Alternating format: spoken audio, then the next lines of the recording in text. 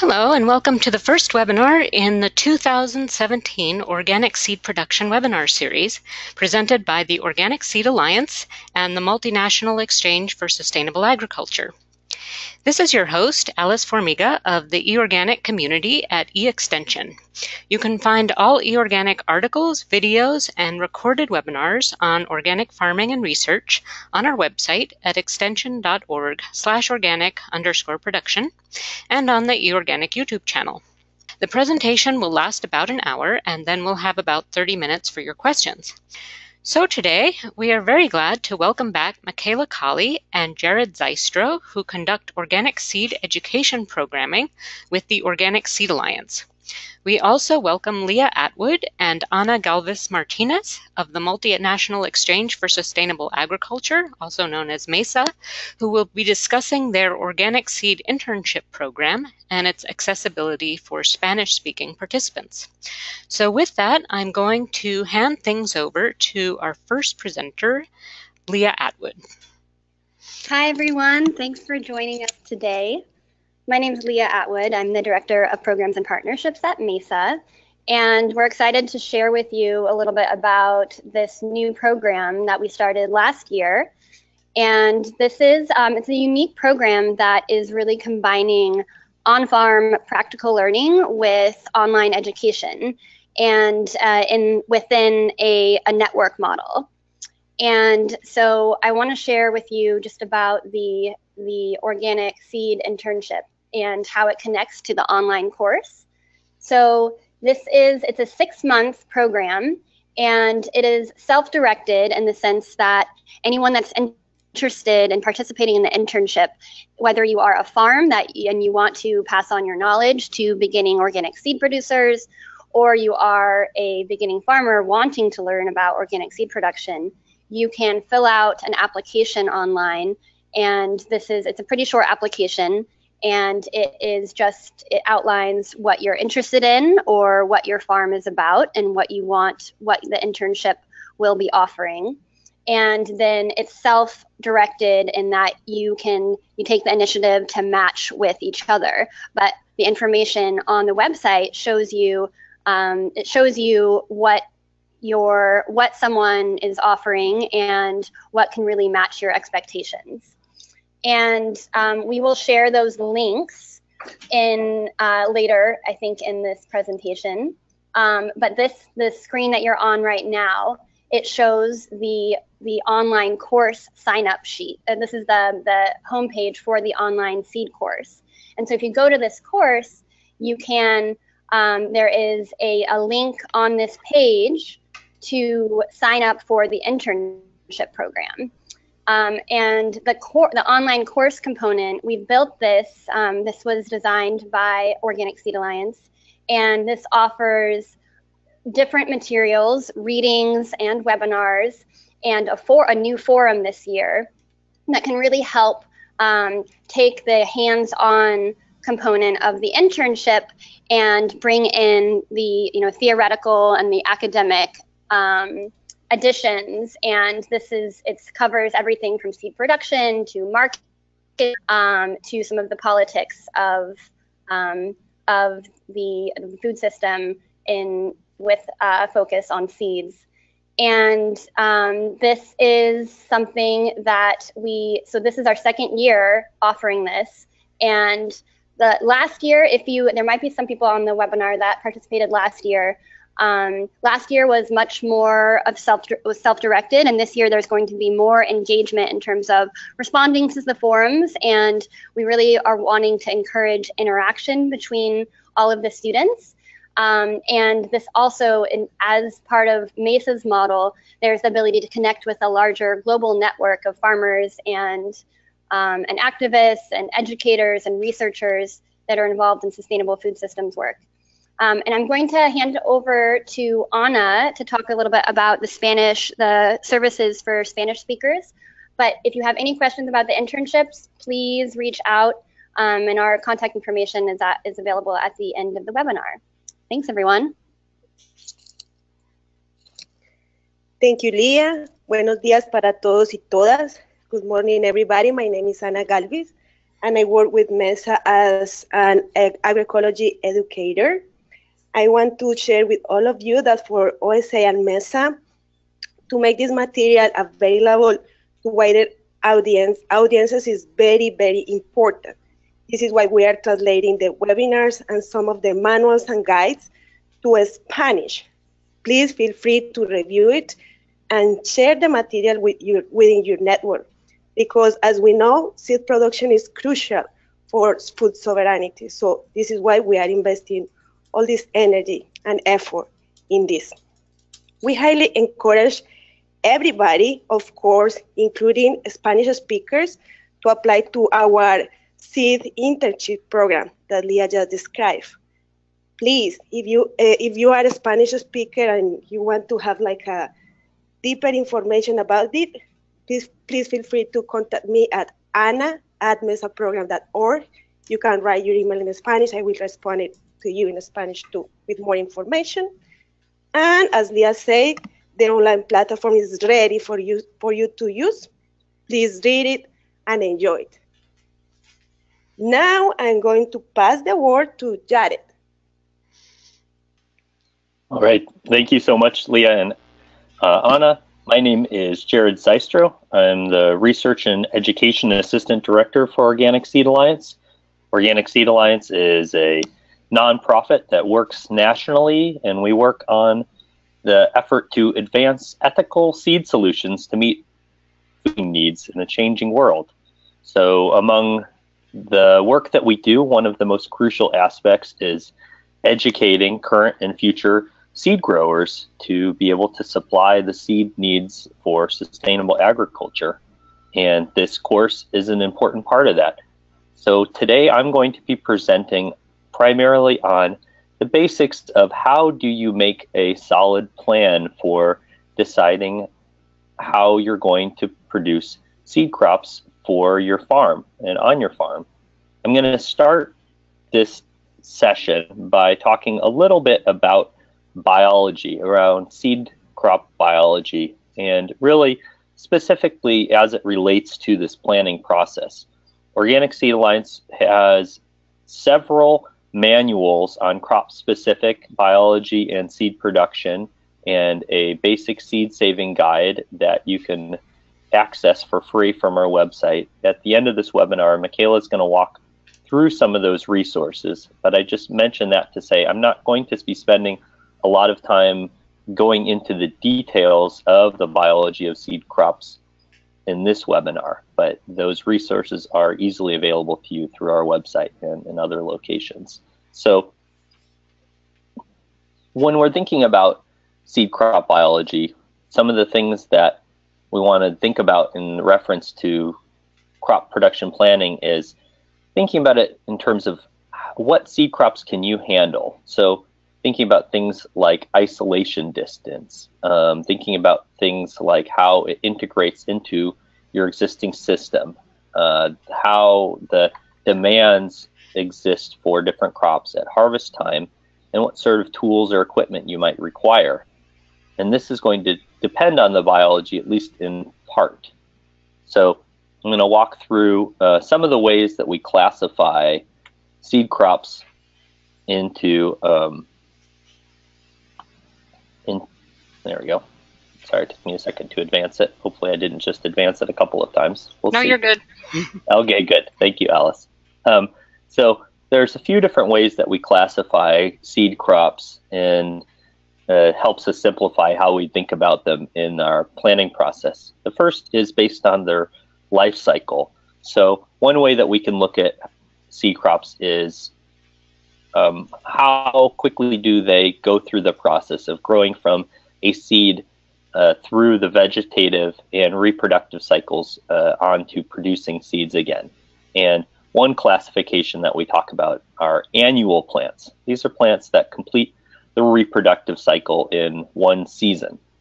So they would be going muted all the way through to producing seed again in a single year or a single growing cycle. And Uh, although this is a broad classification, there are lots of nuances within this. So, for example, there can be widely a wide range in terms of when these crops might be flowering and when they might be ready to mature.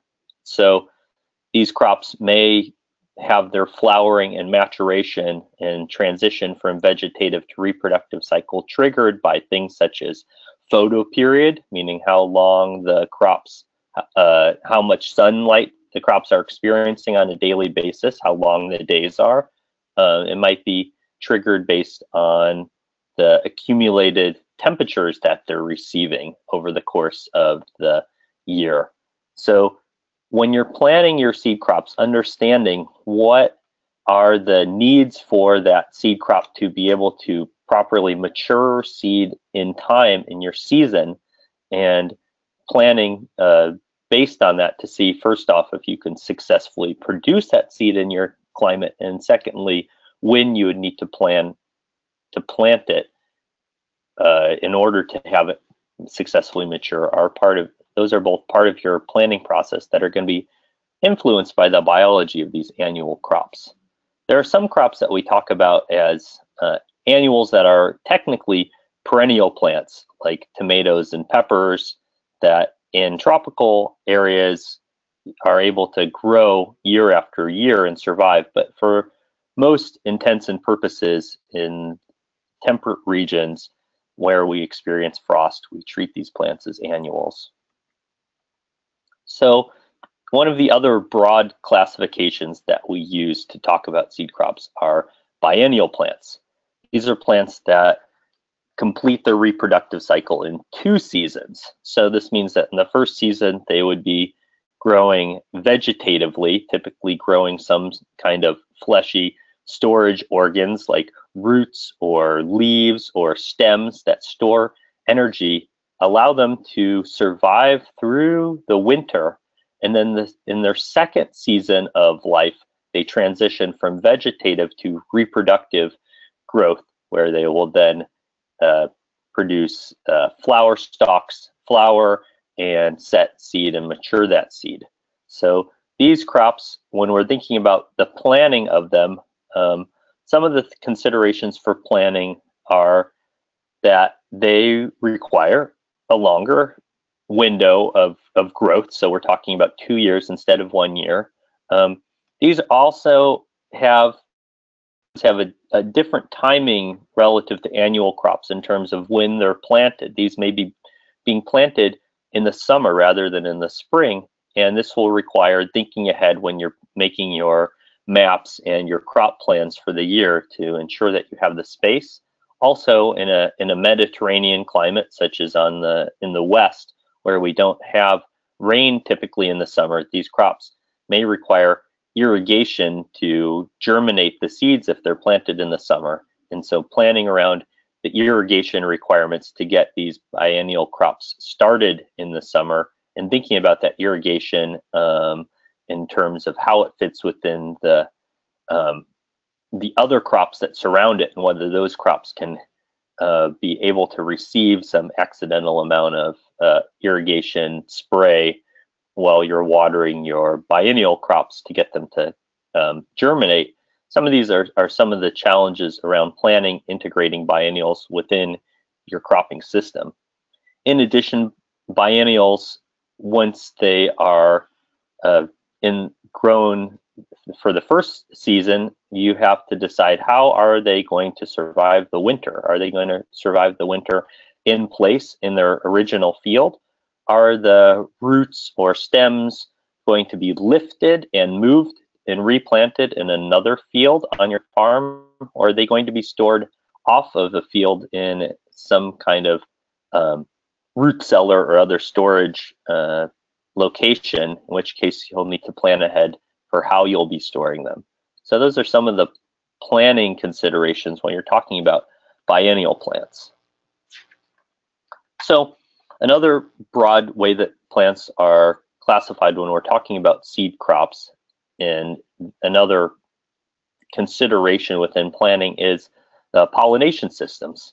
So crops for seed production are broadly divided into self-pollinated crops and cross-pollinated crops, or selfers and crossers, or inbreeders and outcrossers. There are a few different um, naming schemes for the same basic difference in reproductive system. One of which that the are this in terms of these selfers are crops that primarily reproduce via self-pollination. So meaning that the pollen that a given flower receives is primarily coming from itself. So in the case of self-pollinating crops, they tend to have perfect flowers, meaning that they have both the male and female sexual organs all within each flower, um, and that those anthers and stigma are in close proximity other within that flower, so the pollen can easily move from anther to stigma. Often, the petals of these self-pollinated crops remain closed or in some way seal out pollen from outside sources so that thus ensuring that the pollen that is received by a given flower really is just coming from that flower. So for example, that would be what happens in many bean uh, species. Sometimes these petals will open after the pollination has already occurred. So the other broad classification that we talk about are cross-pollinated crops or crossers or outcrossers. And these, just like the self-pollinated crops, have systems in place to help ensure that they self-pollinate. Cross-pollinated crops have various methods to encourage cross-pollination. So some of these include the separation of male and female parts. So potentially having flowers that contain only male parts or female parts, or even plants that consist entirely of male flowers or entirely of female flowers. Um, they may have self incompatibility mechanisms that are genetic mechanisms that inhibit the germination and growth of pollen within a on on the pistil of a plant of a flower that is too closely related to the flower that the pollen came from. There may also be temporal separation of sexual parts, meaning that the um, the pollen of a flower may have all be released before the stigma is receptive to pollen, so thus ensuring that the pollen has all been has left the flower before any pollen can uh, be used to pollinate that flower. Cross-pollinated crops often also have showy flowers, uh, nectar to encourage insects, bees, uh, and other insects to convey pollen from flower to flower. And they may produce uh, a lot more flower or a lot more pollen relative to self-pollinated crops, thus ensuring that that abundance of pollen can be carried from one flower to another. It's important to note that although it simplifies our discussion to talk about self-pollinated crops and cross-pollinated crops, they in fact exist across a wide spectrum from some crop species and families being highly cross-pollinated, which with almost all of the plants arising from cross-pollination, um, to plants that are entirely or close to entirely self-pollinated, but that there's a range in the middle that this um, spectrum influences two things that are relevant for crop planning. First is population size, which means the number of plants that you'll need to be producing seed from in order to ensure a healthy population. For most seed production purposes, if you're on a commercial scale producing seed, uh, you will not have as many concerns around meeting minimum population sizes. However, if you're on a garden scale or you are producing seed potentially of a rare variety where you're seed limited or you want to be producing uh, many, many uh, lots of the same species, for example, there may be reasons why the number of plants that you can grow of a given uh, variety are, are limited, in which case it's important for you to know what the minimum population size is. And this information is fairly readily available. OSA has a publication that Micaela is going to walk you through at the end of this webinar called our seed saving guide that has a nice table that talks about what some of these minimum population sizes are, and there are a number of other resources. There's the seed garden that Micaela and I wrote that goes through uh, the population size requirements for uh, several, uh, I think over 70 different seed crops. So that's one place that you can go to reference uh, and understand what these minimum population sizes are to keep your variety intact. Um, the second very key and more frequently relevant piece of information that you need to know that's related to the self-pollination and cross-pollination of your species is isolation distance. So isolation distance is the minimum distance that two uh, species, uh, uh, two varieties of the same species need to be separated in order to prevent accidental cross-pollination between those varieties. And so knowing this distance is very important for seed production because the, the quality and varietal integrity of your seed crops is going to depend on you maintaining adequate isolation distance between those varieties if they're the same species. And isolation distance depends largely on what kind of mechanisms exist in these plants, whether they're cross-pollinated or self-pollinated, and if they're cross-pollinated, how they are cross-pollinated. Typically what we see is that highly self-pollinated crops require less isolation distance and as we move across the spectrum, cross-pollinated crops that are pollinated uh, require a medium amount of isolation distance, and then those that are wind pollinated require the greatest amount of isolation distance. Just like population size, you can find specific numbers for these isolation distances in both OSA's seed guide and in the seed garden book, as well as in the, uh, there's uh, John Navazio's um, organic seed grower book that that has these references. And if you're in a, a, contracted relationship with a seed company, they'll typically provide you with some guidelines for what their minimum isolations requirements are for the seed crop that they're contracting you for. So now that we've covered some of the very basics of seed crop biology and how those how that biology affects your planning, I want to walk you through some of the step-by-steps of how to plan your seed crops. And this is really important because good planning is, is going to be one of the keys in helping you be successful as a seed grower. I broke it down into a few questions that you should ask yourself as you're making your plan for production for the year. First is, uh, what can you grow? Second is, how much should you grow? Third is, where can you grow it? And finally, when should you plant it? And that's what I'm going to spend the next um, 15 minutes or so covering here. So first off, let's talk about what can you grow. Of course, the environment that your farm is situated in is a key factor in what you can grow. For example, there could be some crops that you might be able to grow in your climate, but they might be marginally productive. Um, in this case, yields could be lower and the risk of crop failure could be higher. If the crop is important enough to you or the value of the seed is high enough, it still might be worth it. However, you need to be leery of producing large quantities or attempting to produce large quantities of seed of crops that are marginal in your environment, especially if you don't have much experience in that. So how do you know if a seed crop is something that you can produce in your environment.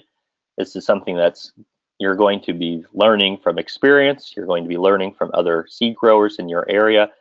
One resource, at least for the Western states, that's available to you is OSA's Climatic Considerations Guide that Micaela is going to be talking about at the end of the webinar that has some information classifying seed crops based on their climatic requirements and that can help you in this planning process. The second factor in thinking about what can you grow is isolation. So as I talk, uh, when you're looking at seed crops, some of them have different requirements for the minimum isolation distance that they need to be separated from other varieties of that same species. So when you're considering what crops to grow, you need to ask yourself first, do I have sufficient isolation from flowering crops of the same species that might be growing on my neighbor's farm or garden? Do I have adequate isolation from seed or non-seed crops of that same species on my own farm? For example, if you're trying to produce a spinach seed crop and you also have some uh, spinach that you're producing for uh, leaf spinach, uh, will you be able to ensure that that uh, leaf spinach is not going to be accidentally going to flower in the middle of the season and contaminating your seed crop? Uh, third is, are there any weeds in your area that might be the same species and could accidentally cross with your seed crop? For example, uh, Queen Anne's lace is the same species as carrots and will readily cross if it's flowering within the isolation distance of carrots. So in general, these isolate, if you're growing something that has a isolation distance requirement that prevents, that only allows you to put uh, one variety of that species on your farm, that's going to, to limit the number that you can produce on your farm. However, if the crop is really an important crop for you, um, either because it's high value or it has some added value for your farm, you may be able to isolate with cages. And this is something that um, OSA has some some references for in our um, in our publications. So third factor in thinking about what you can grow is whether you have the skill set to successfully grow that crop. So each crop might require slightly different skills to produce, to harvest, and to clean. So have you grown this crop before? At what scale have you grown it? And I would recommend if you're new to a crop, um, especially if it's something that maybe is has different requirements in terms of production techniques or equipment, start small and learn from your experience before you uh, go larger. So finally, do you have the specialized tools that allow you to easily produce harvest and clean the seed of those crops.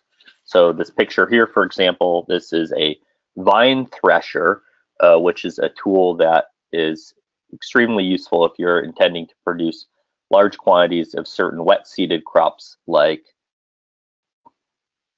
summer squash or cucumbers. And um, so thinking about do you have do you have the tools? Many seed crops uh, are there is a limitation that is based on whether or not you have the equipment and know how to successfully harvest it and clean it.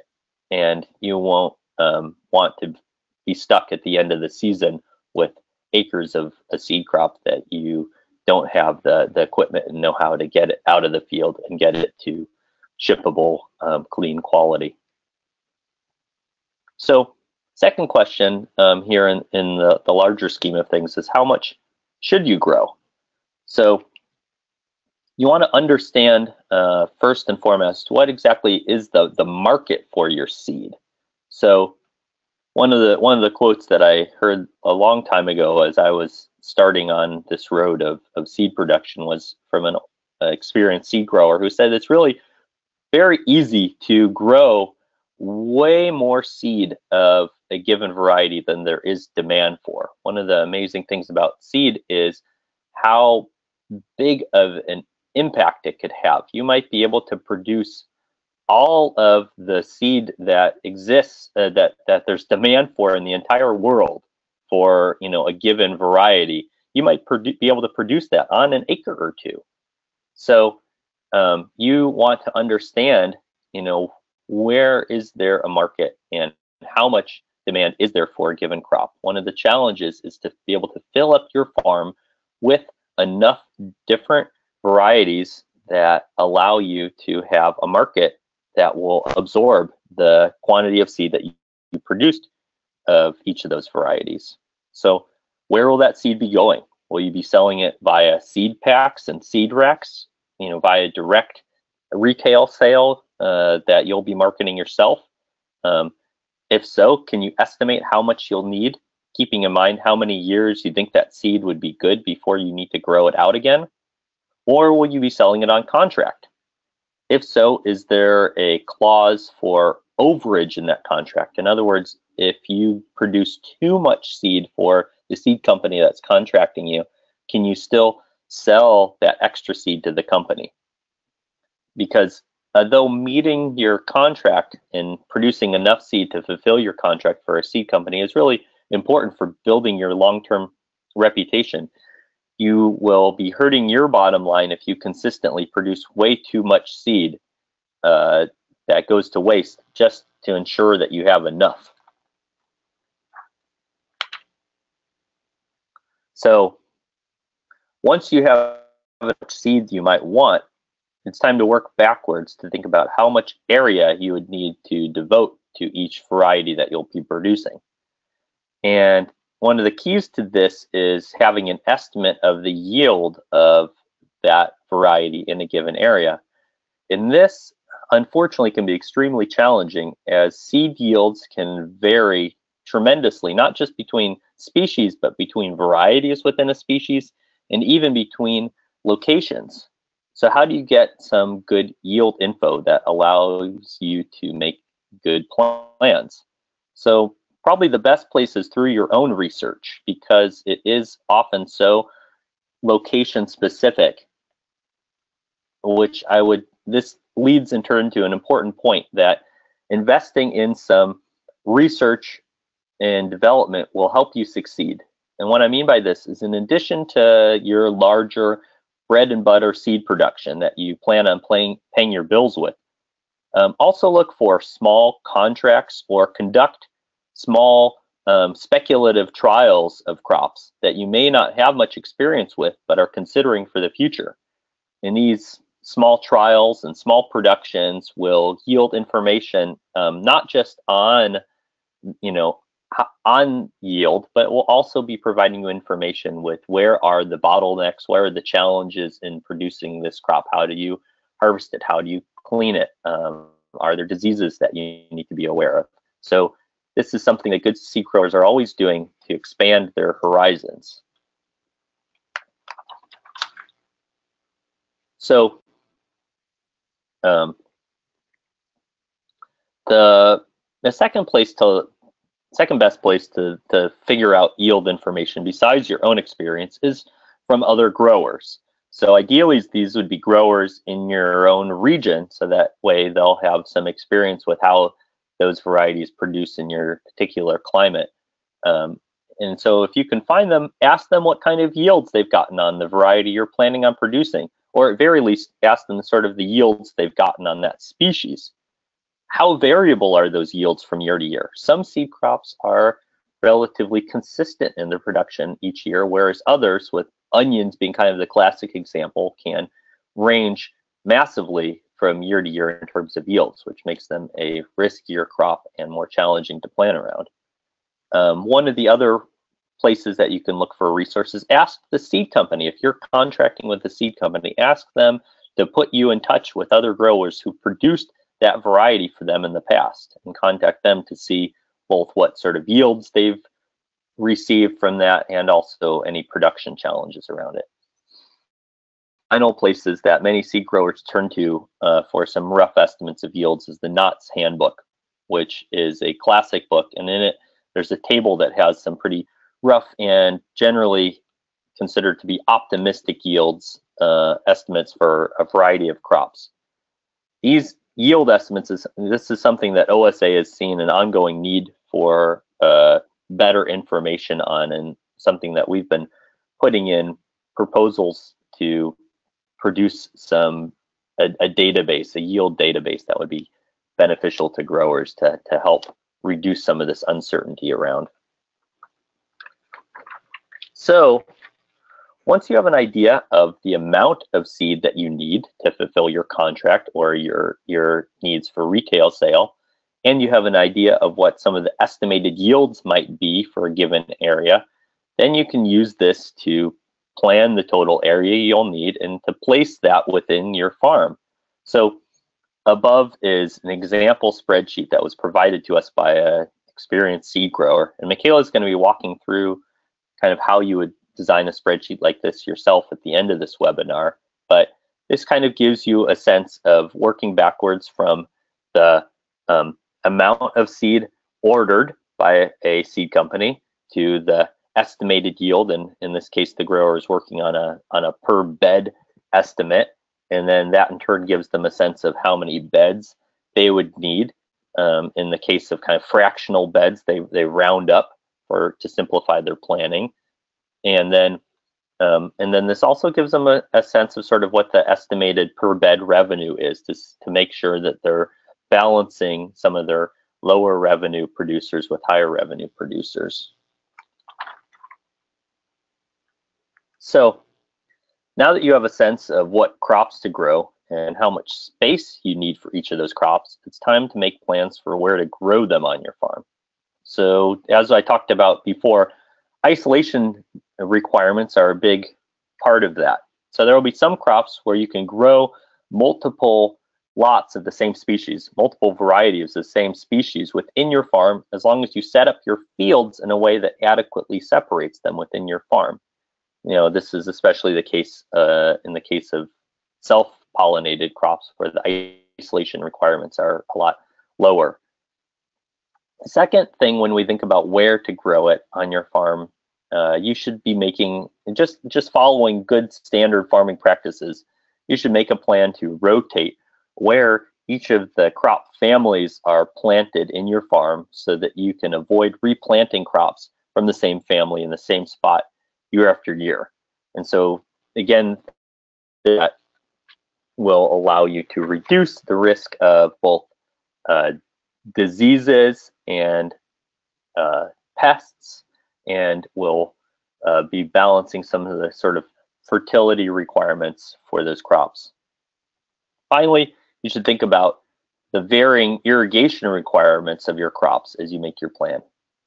And what I mean by this is that for many dry seeded crops, in other words, seeds, uh, crops where you're harvesting the seed as a dry seed from dry plants when it's mature, um, they shouldn't be watered uh, with overhead water once uh, stalk elongation and flowering begins. So if you've got uh, crops that will require overhead watering later in the season, either because they're vegetable crops uh, for uh, your other operation, or as I mentioned before, if you're needing to water your biennial crops in the summer to get the seeds to germinate when they're summer planted, um, then you'll want to make sure and plan that ahead so that way they're those irrigation requirements for things that require overhead water later in the season are not um, negatively impacting your maturing dry seeded crops that do not want to be receiving overhead water later in the summer.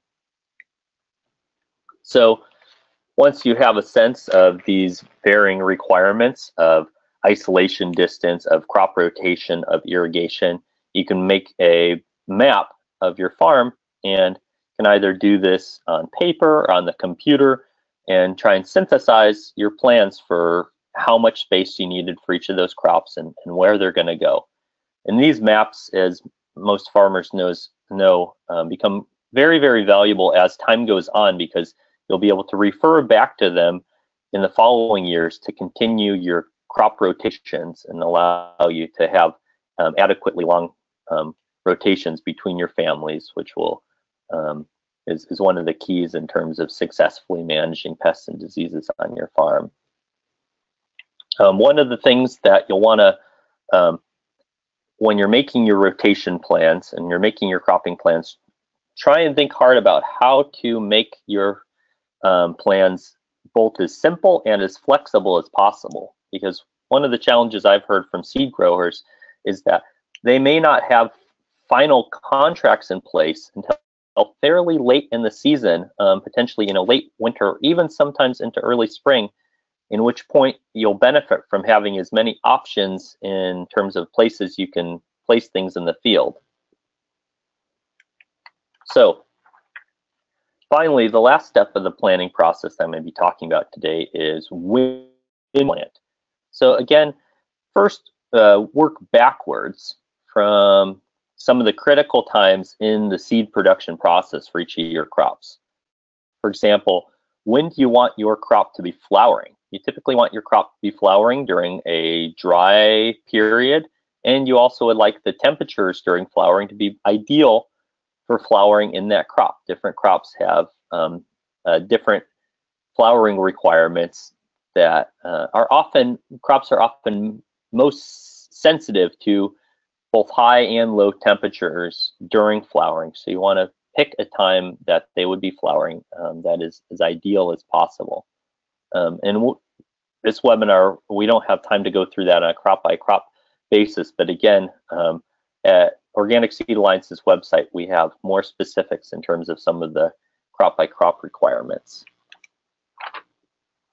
Second, think about the timing of harvest. So ideally, you'd want to be harvesting your seed crops during a dry window uh, because, especially for dry seeded crops, they are extremely sensitive to receiving rain or precipitation during that final maturation and harvest phase.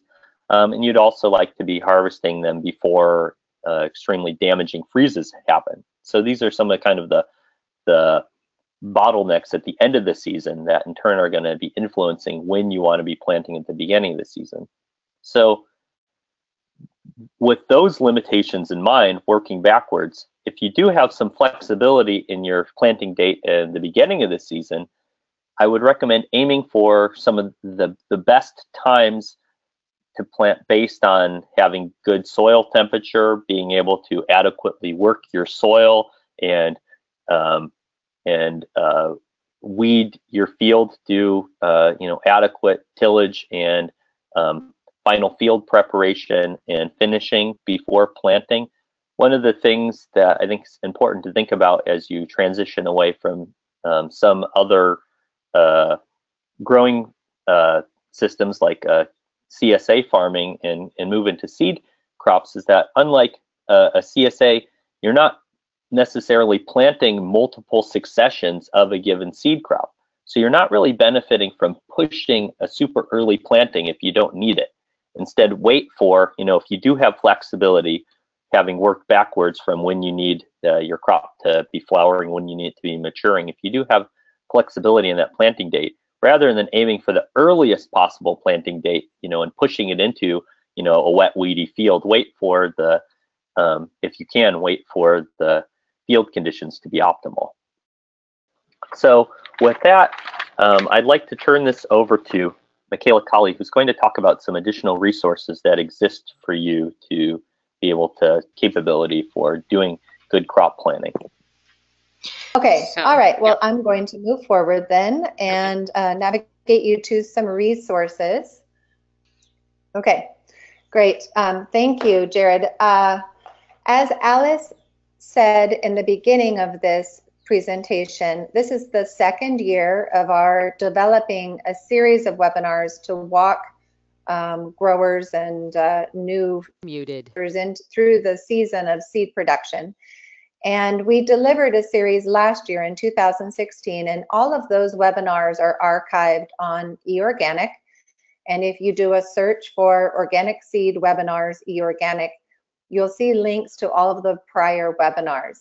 And I'm uh, pointing that out now because uh, at the end of the season, you know everything that you needed to know to start the season.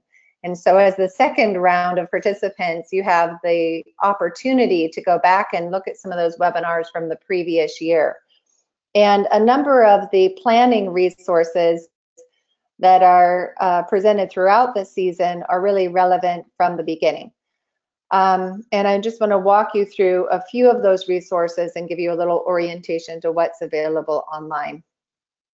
Uh, when you go to the eOrganic site and follow Alice, Alice's links to resources connected to this webinar, those links will take you to the Organic Seed Alliance homepage, which is where, or where the publications themselves are archived, where they live.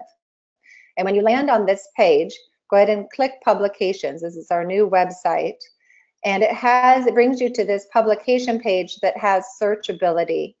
And through this page, you can narrow down your search to webinars, which will take you to all of the webinars that are archived on um, linked from our website. And these are hosted on eOrganic, but here's where they're all presented in order and it's easy to access them. And here's the series from last year, the six webinars. And I just want to point out from the beginning of the year, those that I would recommend you look at now would include the introduction, which has a lot of duplications of information from this year. But again, we'll walk you into a little bit more detail of the climatic considerations of picking your seed crop and uh, some of the field planning tools. Um, the second one I would recommend that you watch in advance of the season is trials and selection. We will be covering that in this year's series, but uh, when you start out the season planning your field, it's good to think about how many crops you might want to put in variety trials of to learn a little bit more about the crop and integrate that into the beginning of the season production planning rather than um, you know coming back in another couple of months and doing a post haste. Uh, the last one I would recommend that you watch in advance is all the, way, all the way to the end of last year's season, seed contracting and economics.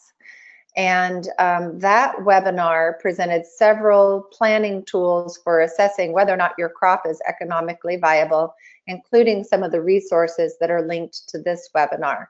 But watching that webinar, you can hear directly from uh, seed producers and seed contractors, how they approach uh, tracking information to figure out whether or not a crop has been economically viable or not. You can start at the beginning of the season and say, well, I have contracts in place for these these crops at these prices in this much space. But at the end of the season, how do you look back and assess what all of the production inputs and expenses that went into that crop uh, were in order to assess whether or not it was actually um, what was the net versus gross revenue from the season. And uh, so that's the orientation to the webinars. You can also, um, on this same page, access some of our publications, the how-to guides, and here's where you will find the seed saving guide for gardeners and farmers that Jared was mentioning this is the guide that includes um, a page uh, that will more crop specific information regarding pollination systems, population sizes that are recommended, and isolation distances. And this is what you will need to refer to in order to make sure that your field map, your field planning of your planting scheme is ensuring that you have adequate isolation and population sizes to uh, prevent cross-contamination or uh, impacts of narrowing genetic diversity within a crop. The other publication that's on this page is the climatic considerations for seed crops. And as Jared mentioned, this guide was written specifically focused on the Pacific Northwest and Intermountain Western region. However, if you go to the guide, there's quite a bit of information about specific maximum minimum temperatures during different times of year that impact the, the um, feasibility of producing a high quality seed crop within that region. And there are a lot of crops that you can get away with producing a seed crop in your climate, a great diversity of crops that will actually mature viable seed. But what this guide is focused on is which crops are best suited for your climate because those are the crops that you're going to be able to be the highest quality seed grower and likely have the greatest success in seed production and greatest yields compared to growers in less optimum climates. So it's a good uh, guide to consider both for thinking about what you can produce. There's also some information in it about how you can modify your climatic environment to better suit the crop if it's not optimum for your region, but also to steer you toward contracting with those crops for commercial seed production that are going to bring the greatest success. Again, this site also uh, has uh, the worksheets and some of the planning resources that are available from Organic Seed Alliance online, including a few planning sheets that are related to planning your variety trials and a seed crop record. And I think that's perhaps one, Alice, that we haven't added to the list of resources for this specific webinar, but we could put it up Unmuted. after the webinar. Sure. And the seed crop, the seed crop record is just a printout sheet um, that you could keep in a three ring binder if that's your preferred method of archiving information.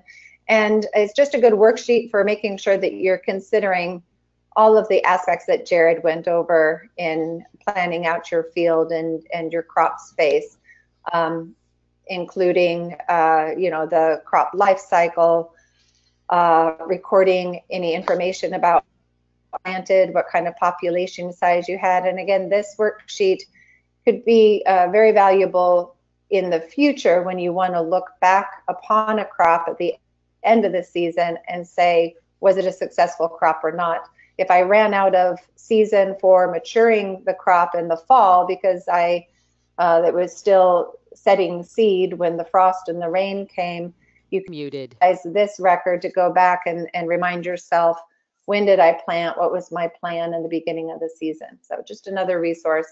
And the resources that we present here are really a gleaning of tools that we've collected from farmers who are seed producers who we feel are uh, have developed some useful tools for themselves and have had some success in seed production and, and are willing to share those resources with others and some resources that we've developed or we've utilized in our own seasonal planning. But ultimately, every grower is going to need to figure out what method of information management works for your system. Um, here at Organic Seed Alliance, we have a number of field locations and a number of crops going on every year. And so what we do is uh, um, maintain a Google spreadsheet so that anybody out in the field, whether it's one of your field interns or part of your management crew, can go in on a daily basis and enter information. So it gets archived all in one location and not on a number of clipboards or worksheets or uh, field planning notebooks that are in somebody's pocket out in the field. And this is a very, very simple template uh, that's also available in one of the links, just a plain Excel spreadsheet that includes information about what crop you were producing. Um, uh, wait, sorry, this is the original uh, field season planning page that uh, allows you to record in one location what are all the crops and projects that you have going on that season, looking at all of those crops uh, in in the timeline of anticipation of when they would be planted, when they would be transplanted, when you would be wanting to uh, harvest seed and how much space is required.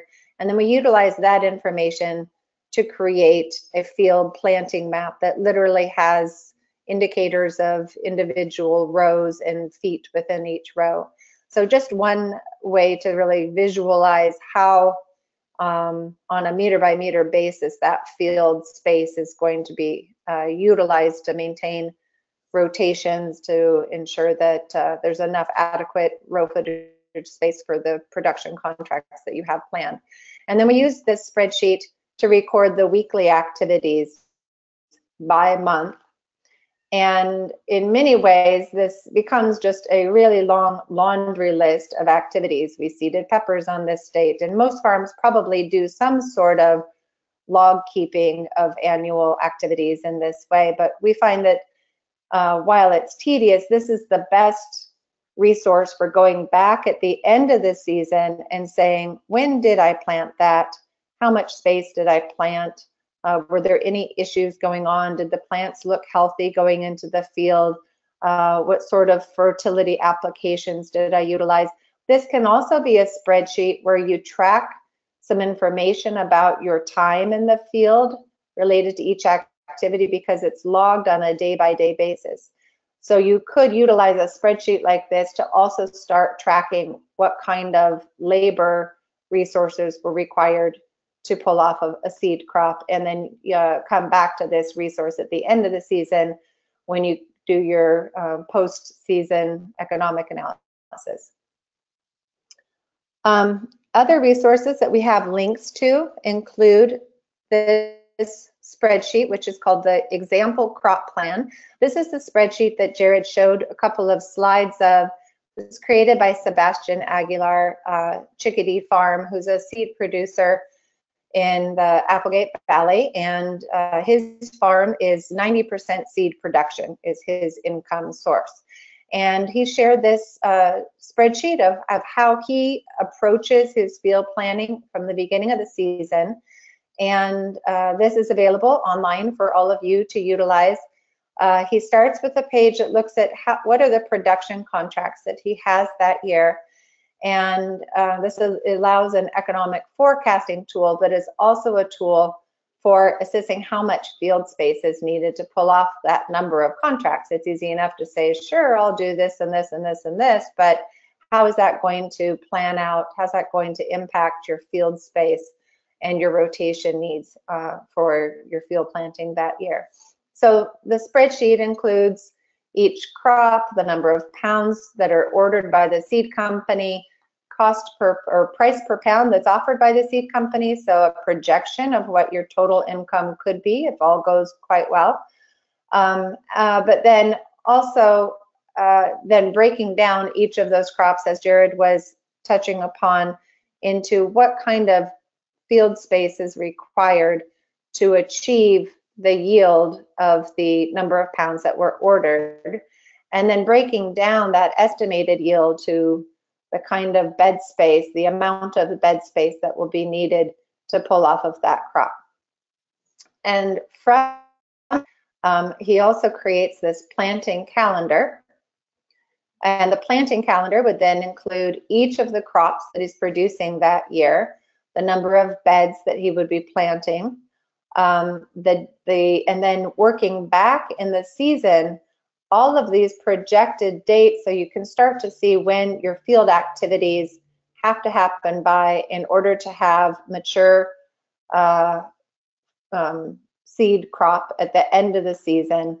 And uh, working back from there and when you think you would be out of the field and what sort of dates prior to even seeding and planting that crop, you would need to be working up the field and starting your transplants in the greenhouse. So this becomes a very detailed uh, week by week planning tool to ensure that your seed production is on schedule and on target for successful harvest in the fall, and also highlighting when some of those major labor uh, peaks and valleys might happen throughout the planting season.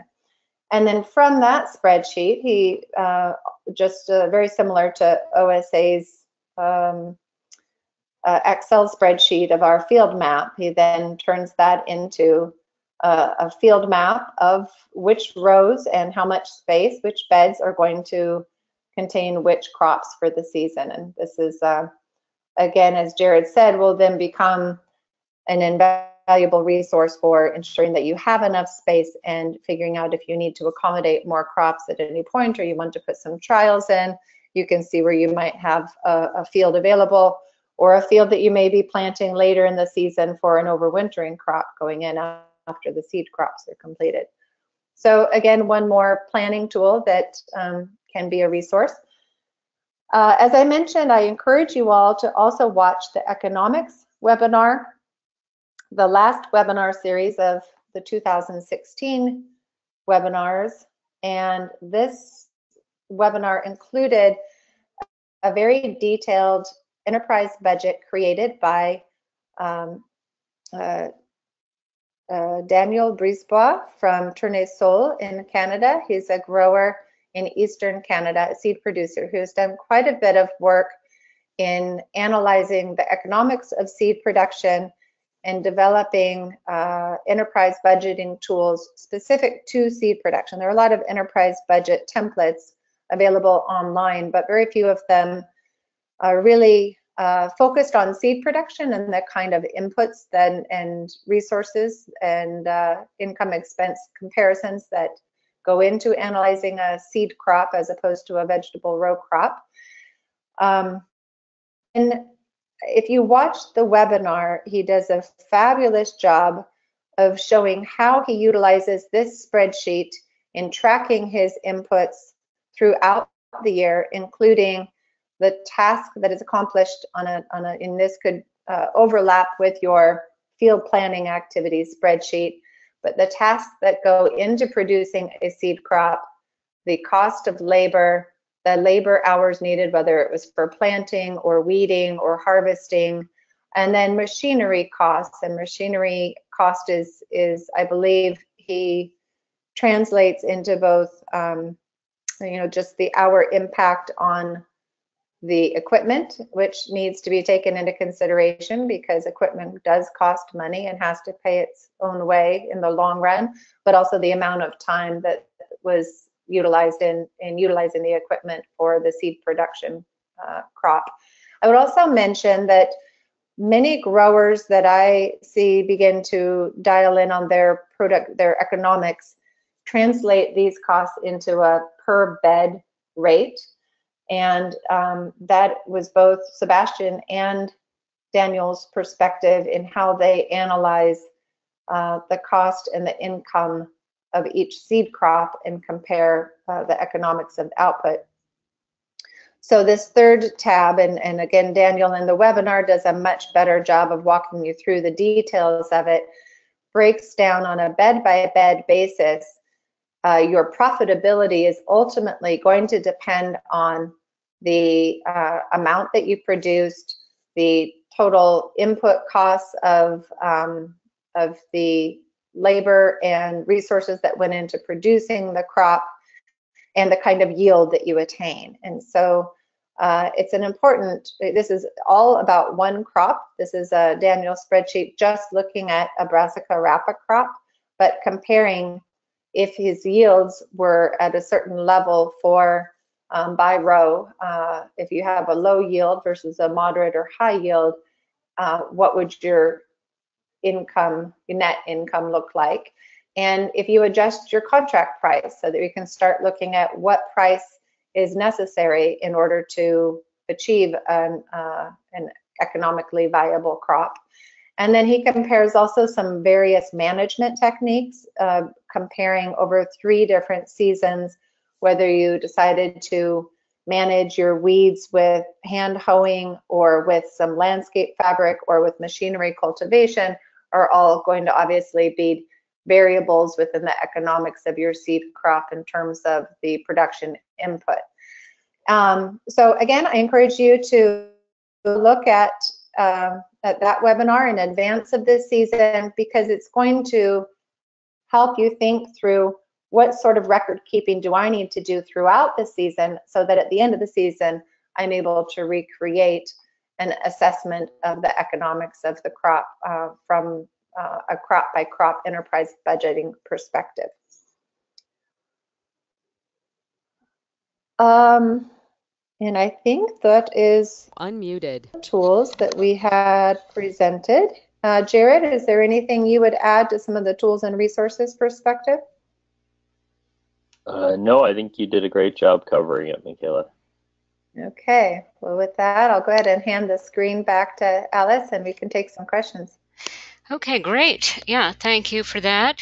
So we're going to have some question time now. So um, I know we had a couple of questions already in the queue, but um, not too many. So if you'd like to ask a question, um, you can feel free to type one in and chances are you will get an answer. So um, here's someone who wants to know what beginner seed crop she might try this year. Um, they the person lives in um, the front range of Colorado, but um, can you suggest some beginner seed crops that it might not be too late to try this year? Um, well, in Colorado, off the top of my head, I would say in guiding beginners towards seed crops, uh, certainly starting with some annual crops so that you only have one season of managing the crop and the timing of planting is a little easier to capture than with a biennial where the crop is planted one year and overwinters and then is harvested the following year. And uh, for beginners, it depends on your your location, but if isolation distance is an issue, then I would steer folks toward the, the more self-pollinating. Um, and a couple of those that I think are well suited to the climate in Colorado and are fairly easy to harvest and process would include dry beans and tomatoes off the top of my head. Both um, are fairly straightforward in terms of the production, and there are several uh, resources available for how you harvest those crops. It would also give you experience trying a dry seeded crop versus a wet seeded crop. The tomatoes, the whole fruit is harvested and processed, processed, but that's not a particularly difficult thing to do if you have information on how to do it. And uh, you don't have to maintain particularly large population sizes for either of those crops either. And uh, again, beans are fairly easy to know when to harvest and uh, can be hand harvested or mechanically harvested. Um, Jared, do you want to chime in on that at all? Those were actually the same crops I was thinking of as well. Um, I think those are those are good fits for that climate and yeah for for, for good places to start. Um, could try, you know, again depending on your isolation distance, you could try um, uh, some of the cucurbits. Um, those could do well in that region. Um, let's see, at this time of year, I mean, one of the challenges if you're if you're just starting now, I guess, is sort of the length of the season. If you've got things like tomatoes and cucurbits, um, you know, you may have wanted to be looking at, you know, you're you're you're certainly starting to push up against the edges of that window, um, whereas dry beans, yeah, maybe a, a better fit. Um, okay. Yeah, I'll, I'll, think about um, some other crops, and if they come to mind, I'll, I'll mention them. Sounds good. Okay, so um, in a less perfect climate, um, will a, a, seed that's be grown that's grown in that climate be um, better adapted to your locality? So better than a seed produced from far away. So the one of the things that I, I usually mention when I talk about um, kind of the, the basics of, of, of, of seed saving and all the pieces of it is that as a seed producer or a seed saver, you are whether, whether kind of whether you like it or not, you are a plant breeder, meaning that you the, the seeds that you save from the plants that you save seeds from um, there may be some degree of variability in terms of the genetics of the plants that you save seeds from. And you can do one of two things. If you if, if you do job of seed production and saving seeds from the best plants, the ones that are most uh, doing the best in your location, and you do a good job of managing population size and isolation distance over the course of generations, you could improve that variety in terms of its adaptedness to your location. So, yes, over time, there's the potential that uh, if you do a good job uh, and there's adequate variability within the genetics of the seed crop that you're growing, that it can improve for your location. Um, there has have been some evidence, uh, kind of more recently, that sometimes that adaptation can even um, occur fairly rapidly, even within a, a single generation. Um, but again, it, it's going to depend a lot on, on, both on on which crops you're dealing with. Some crops, for example, when we're talking about things like um, you know dry beans or lettuce or tomatoes, um, if you're working with a commercial variety uh, that may have been bred to have very little genetic variability in it to begin with, um, when you're receiving that seed. There, there, there may not be a lot of uh, kind of genetic wiggle room there to be able to improve it for your environment. Um, and likewise, if, if you don't do a good job, if, if you end up uh, through um, various reasons not maintaining enough isolation distance or a large enough population size, or end up selecting plants that are actually um, worse in your location, um, the, the quality can actually degrade. So I would say, short answer, yes, you, it, you can improve it for your location with all those above caveats. Okay, um, let's see. Um, how do you deal with longer isolation distances since farms are not huge and you can't control what other farms or even homeowners in a one mile radius or more are growing? um, I'll, I'll, I'll, take it for right now. And Micaela, if you want to chime in, feel free. But I would say there's a couple of things there. You're right. That is a challenge. Um, the isolation distance does, uh, there are variables that can affect what actual isolation distance you need. So those variables include whether there are some sort of uh, wind breaks or um, uh, pollen breaks uh, that you know stop the pollinators from or the wind from moving pollen as far. That can allow you to your isolation distance.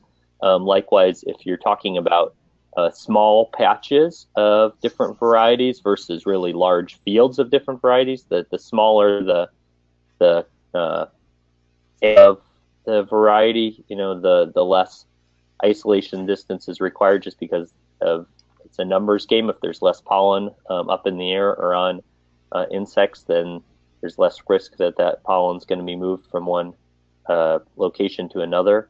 Um, and then uh, also another factor is just sort of the your your willingness to accept risks. Um, if it's something that's, uh, for example, if you're growing something like cilantro and your neighbor's also growing cilantro, and they're more or less the same cilantro if you know if, if you end up getting an you know outcrossing of you know one in a thousand seeds um, you know are the result of outcrossing between your your cilantro and your neighbor's cilantro it may not um, be as important as with um, you know some things where that that the outcrossing um, the contamination from a, uh, a neighbor's field is is much more obvious or much more important whether we're talking about you know crossing with something that's you know genetically engineered that you know in the case of organic that puts your sort of you know that that that you know risks the, the quality of your seed or it's you know a beet that's being crossed with a Swiss chard in which case it's going to be very obvious and problematic.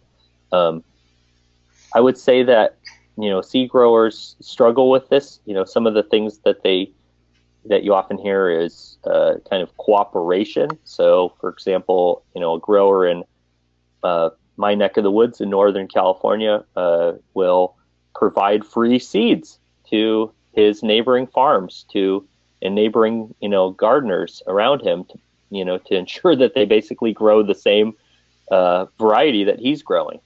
Uh, so that's kind of a, a way that you can, um, you know, you you kind of get to know your community, who's growing what, and uh, ultimately, it, it you know you end up having some degree of negotiation and working with them. Uh, Micaela, I don't know if you've got any other tips for that.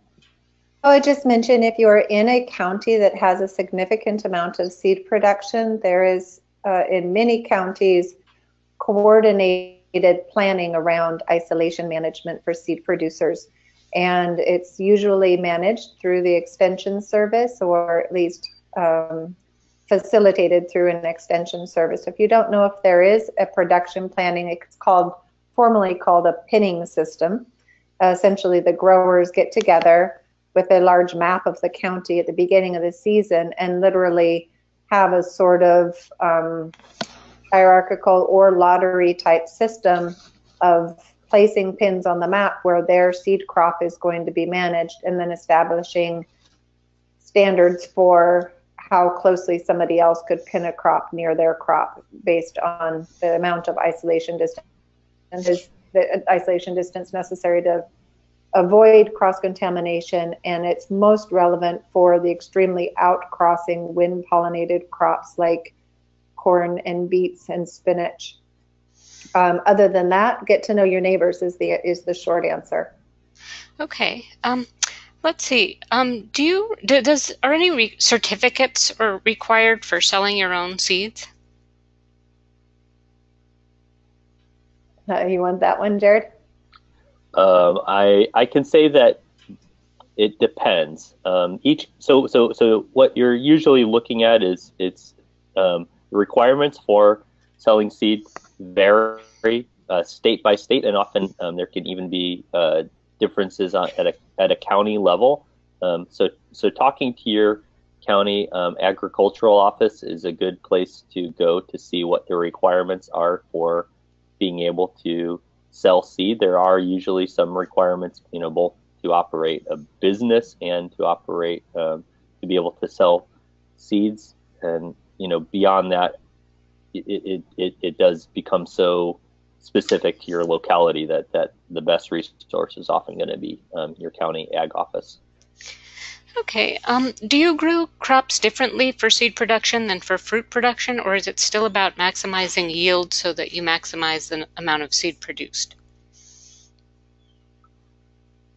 Uh, I would say, and this goes back to the earlier question about uh, adaptation of local seed crops. The quality of a seed is going to be a combination of the genetics that um, are within the seed, which is going to be impacted by the kind of selection activities that Jared was describing. And then the quality of the seed is also due to the environment that it was produced in. So that's a combination of whether or not the local climate was conducive enough to optimum timing of seed set and uh, length of season and temperatures through um, uh, pollination and maturation of the seed. And it also depends on the, the uh, quality of, of the field management. And so it is true that uh, a, a, seed crop should be managed with adequate fertility, adequate water, adequate weeding, just as you would a vegetable or a fruit crop in order to have the highest quality seed. Uh, having said that, in the leafy crops, it is also possible, and I think this is probably a bit more of a problematic um, potential in conventional seed production than in organic seed production. It is possible to over fertilize with nitrogen. Plant um, grows so vegetatively that it doesn't shift into putting as much energy into the seed production aspect. But I think the potentiality is to under fertilize rather than to over fertilize when it comes to seed production because it's a long season crop in the field uh, and and the essentially the energy, the growth, the nutrition metabolites that are in the vegetable crop are what the plant draws from to feed the seed that's maturing on the plant. And so you, you don't really want to ever cut the water prematurely unless that crop is really going into the final drying and seed set phase, but you want to let the crop go through as healthy and long of a season as it needs to produce a, um, a, a high yielding, high quality seed. Um, can you recommend a resource that will identify what plant seeds require stratification? Um, can you recommend a good germination chart like that? Mm. Optim- mm. Optimal temperatures? Mm. Um, well, mostly, you know, mostly seed catalogs are where I go to for, for information about that sort of thing. Jared, do you know, does Knott's have any more specific information about so I mean, temperatures and stratification, things like a that. A lot of seed companies um, will post the charts online too. So mm-hmm. yeah, um, I know yeah. Fedco has one for flowers. I'm not sure, um, but I know Johnny um, does a lot mm-hmm. of um, has a lot of resources like that. so might be a good place mm-hmm. yeah, to that. That, yeah, that, that that's a good resource. Um, there is the so depending on kind of what what you're talking about. I mean, for yeah, for for kind of straightforward uh, germination guides. I think that the seed company and the seed catalogs is a great place to look for maybe more uh, exacting uh, germination strategies for you know for uh, seed crops. You can look to some of the um, the uh, the seed certifying agencies and the and the um, I think actually the Federal Seed Act has their publication online that will sort of tell you what the the germination times and temps are that they recommend. Um, there used to be, um, when you're talking about uh, kind of harder to germinate crops, whether these are native plants, um, uh, flowers, etc., there used to be a great guide online that w- walked through all of those. Unfortunately, that link recently died, and I haven't found the the updated version of it. I think it was um, published out of well, I want to say it was published out of Universe is published out of Arizona, but I haven't found the. I haven't. I should contact the the original authors. I found an updated version of it, and it was it was a great guide that that had for more kind of odd um, native plants that you know required you know maybe stratification or scarification and things like that. Um, okay, we have a couple more questions. Um, let's see, what where does one start with acquiring contracts? Are there um, standard letters or templates out there that you could use as a guide, or um, do you most often just call them on the phone? Or how do you usually go about the, contacting them? You want to take that, Jared? Do you want me to? You want to do it, Micaela?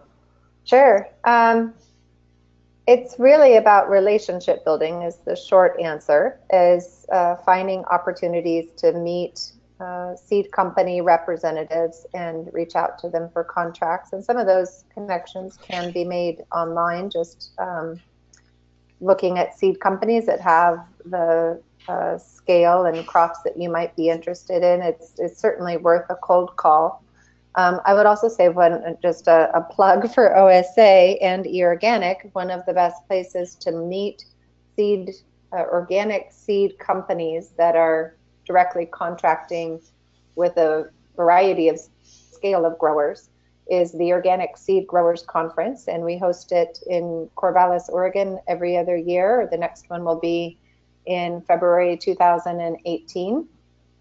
So it's a great opportunity to go and meet people face to face, both other seed producers to learn more about their experience contracting with companies, but also to shake hands with seed companies directly and let them know that you're interested in contracting. Um, in the past, Organic Seed Alliance had an online networking database that we called the Seed Producers Database, which was essentially a contact relation management tool for seed growers and seed buyers to, to meet each other online. And we are in the process of um, retooling and relaunching um, some sort of networking tool of that sort, but I don't have a firm date of when that'll be available online. Um, and what else, Jared? What else am I forgetting? Uh, we, there was also, let me just mention this again, last year's webinar series, November 15th, the, the last series uh, webinar number six, which was also the one that covered seed economics, covered the, con the topic of contracting, and we had a couple of seed company representatives on the webinar uh, sharing their advice and information to seed producers about how to work with seed companies, when to approach them, how to approach them, what the expectations are, what a contract looks like, how to negotiate, that sort of thing. Uh, and it was a couple different scales of seed companies that were uh, participating in that webinar. So I recommend watching it for a little more personal guidance. Yeah. Um, Alice, yes. Alice, yes. This is Leah. Sure. I just wanted to add uh, to what Micaela was saying, a quick plug for the internship and the online Organic Seed Alliance course. If there are participants that are in either of those, either of those programs, there is some built-in support um, for contacting and uh, and connecting um, with seed companies and and contracting. So I just wanted to add that. Okay, yeah. So I would recommend if you want to find out um, about these events, you can um, subscribe to the eOrganic mailing list and also to the Organic Seed Alliance mailing list, um, and then you will receive announcements about these upcoming events. So um, yeah, I guess we have time for maybe one more question here. So let me find someone who hasn't asked a question before here. So do you have any recommendations regarding fungal diseases? I know we're going to have a webinar in a couple of months, um, one of which does um, address pests and diseases. So I definitely recommend attending that or watching the recording of last year's. But um, Jared, do you want to talk about that a little bit? Last couple minutes. Yeah. Yeah, I mean, I think I think that is a good resource. Uh, we have on the on eOrganic. There's also some um, in the the seed resource guide uh, is is another resource that um, within that there's some information on managing um, pests and diseases, some real general um, across the board strategies for managing fungal diseases in seed crops. Uh, really come around just good management practices for seed in general. So, kind of some of the things Micaela uh, talked about for uh, managing seed crops in terms of giving them adequate fertility and water, um, and um, but not necessarily um, over fertilizing to the point where they become, you know, when you're talking about leafy crops, they become super lush in growth. Um, instead, you know, what, it, it, you know, again, though it's a lower risk for organics, um, you know, excess nitrogen can produce kind of softer tissues that are more susceptible to fungal diseases. You also want to be thinking, again, as you transition from thinking about uh, maybe you know vegetable crop production to seed crop production that are of the same species, you know you're going to need more uh, space between plants and, and between rows to ensure adequate airflow. And you want, might even want to be thinking about how you orient your rows uh, so that air can flow, uh, you know, wind can blow between the plants and provide airflow. Really trying to make sure that the, um, you know, especially if you live in a place where you get, you know, either uh, you know, summer rains or, you know, dew in the morning that you're able to, that the plants are able to dry out as quickly as possible to minimize the length of time that they have moisture on them that allows the, you know, fungal spores to germinate and grow. Um, you'll be wanting to think about managing crop residue and alternate hosts for those fungal diseases. So keeping, you know, clean fields and, and, and a clean farm um, those are important things. Practicing very good crop rotations. I know that there's been some you know recent research just more generally, not just for seed crops, but you know looking at you know successful organic farmers are finding that you know the the rotations that are required. You know they're often looking at more like you know six or seven years between you know rotating back into a family on a given crop family on a given piece of land to try and reduce the um, you know the soil borne you know uh, you know fungal and other you know pest and disease load within uh, a given field. So those are some of the the strategies that exist that are pretty generic. And then you know for for specific diseases and specific crops, we'll cover some of that in the webinar, and some of that's available in the um, seed uh, the the online um, seed resource guide that eOrganic has. There's also some um, within the there's a a seed production course that eOrganic hosts, and within that, there's a module on uh, seed-borne diseases that Jodi Lew-Smith from High Mowing um, provided the content for, and that goes through some of the kind of real key both bacterial and fungal um, diseases that are um, high uh, risk um, and how to manage them. Yeah. Um, but, oh, sorry. Go ahead, Micaela just add to that uh, very quickly, one other cultural practice would be to avoid overhead irrigation with seed crops. That is another difference between vegetable and seed production practices that are best recommended in terms of disease management because it's such a long season crop and you don't want to be getting wetting on the seed itself. I'd also say know your crop and know what the specific um, high risk fungal diseases are that Jared just mentioned, and then uh, find out whether or not those are also seed borne and ensure that you're starting with disease free seeds so that it's not being um, planted along with the crop. And if in doubt, ask the seed company you're contracting with whether or not they have treated or um, at least tested the stock seed that they give you if it's supplied by them for the seed production. Okay, well, we are unfortunately out of time, but we will have the chance to discuss these and many other aspects of organic seed production in the other webinars in this series. And if you've signed up once, you'll get the notification about the other ones, and you don't need to register again for those. And um, you're welcome to watch any of the recorded webinars from last year in both English and Spanish. And um, eOrganic and the Organic Seed Alliance websites both have a wealth of information information on organic seed production. So I definitely encourage everyone to take a look at those. So thank you so much, um, everyone, and thanks for all your questions, and we hope to see you next month.